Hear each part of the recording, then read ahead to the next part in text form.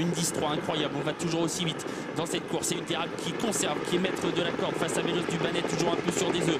Ula Garassan est en troisième position devant Ursula Speed, Utopie CR, Utopie Impériale.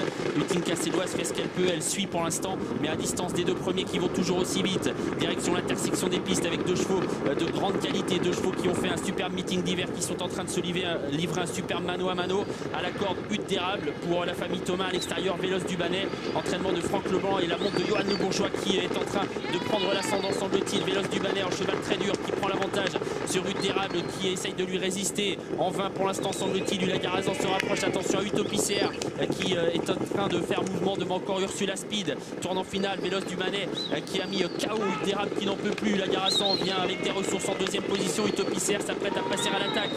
La ligne droite finale avec les deux Leblanc qui sont en tête de course. Vélos du Banet, la. Mais attention à Mathieu Abrivard qui lance. Utopie CR formidable aujourd'hui qui tente de prendre l'avantage sur Vélos du Banet qui se défend bien. La Garazan lutte également pour la victoire. Utopie CR qui file au poteau désormais. Utopie CR qui réalise une très belle performance aujourd'hui qui va s'imposer. La deuxième place peut-être à la fin pour Vélos du Banet devant Ula Garassan qui s'est bien battu jusqu'au bout.